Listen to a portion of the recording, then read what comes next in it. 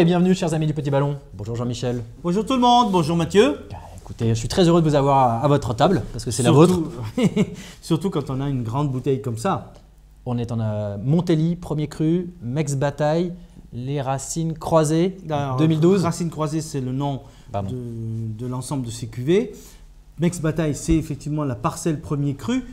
Et euh, chez Monsieur Pion, euh, la parcelle, elle est toute petite puisqu'on a 0,27 hectares, 2700 mètres carrés, donc euh, plutôt quelque chose d'assez exclusif, d'assez rare. Donc quoi, il y a une 1500, 2000 bouteilles 2000, en tout cas. 2000 bouteilles dans les grands millésimes. D'accord. Ouais, Voilà. donc on a... Et donc 1500 dans un millésime moyen.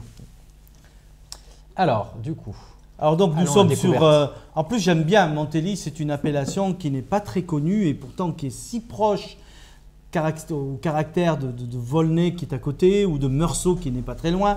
Donc euh, effectivement on est euh, dans, dans le cœur de la côte de Bonne, dans le, le cœur des grands, des grands vins. Plongeons donc dans ce cœur de grand vin. Voilà, donc Pinot Noir, une couleur euh, rubis, euh, un petit peu atténuée, un début d'évolution, euh, Ouais. un vin qui est brillant, limpide, qui a quand même, on voit déjà assez de gras dans le verre, donc petite concentration, hein, évidemment. D'accord. Au nez. Alors voilà, on est à la fois sur des caractères assez profonds d'un d'un Volnay ou d'un Pommard, donc euh, griotte bien évidemment, poivre, euh, côté minéral, mais on a aussi la finesse, la tendresse d'un d'un Meursault par exemple. Et donc euh, effectivement, j'aime bien cette appellation parce qu'elle joue sur ces deux caractères. J'ai hâte de déguster. Donc en bouche.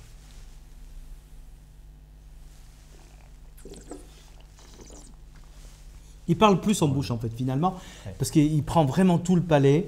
La cerise est éclatante, le côté griotte. Ouais, mais il n'est pas trop présent. Il est éclatante, mais c'est-à-dire qu'il. Non, mais il prend plein du volume. On a un côté un petit peu poivré, vanillé, très long en bouche. Ça signifie que Ça ce vin va pouvoir, euh, pouvoir se garder. Et on a finesse, euh, c'est délicat, c'est tendre, mais une, une puissance maîtrisée, je dirais. C'est très très bon ça. Et c'est fin. hein. c'est- déjà, ouais, c'est c'est déjà, c'est déjà bon. Je, m'attendais à quelque chose qu'il fallait Euh, garder un petit peu plus, mais euh, Mais Souvent avec le pinot noir, tu, ce sont des, le pinot noir est un cépage formidable pour ça parce qu'il peut s'exprimer très rapidement tout en, offrant un potentiel de garde. Voilà. Donc on est tout à fait sur ces deux, deux tendances-là dans ce vin-là. Fin, délicat, flatteur, charmeur aujourd'hui. Mais derrière, il y a un petit coup de fouet, ce côté un peu poivré, tannique qui dit attention, revenez dans quelques mois ou dans quelques années. Le petit coup de fouet qui donne rendez-vous euh, dans quelques mois, quelques années. Voilà. On, le, on le sert avec quoi?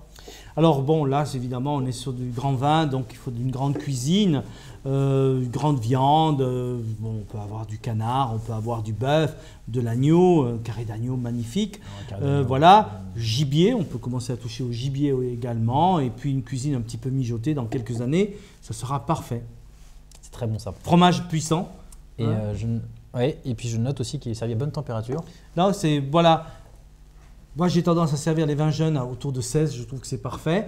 Jusqu'à 18, c'est voilà, ça serait la température idéale. En tout cas, c'est très bien. C'est très très bon. En tout cas, euh, une très belle trouvaille. Bravo Jean-Michel. Et, euh, et Donc encore- surtout bravo à Henri Pion, hein, cette maison qui nous, fait, qui nous offre des vins absolument surprenants. euh, bravo à eux. Maintenant, à vous de déguster et de vous régaler. Bientôt. premier cru, Mex Bataille, premier cru, hein, c'est le nom de la parcelle. Au revoir, à bientôt. À bientôt.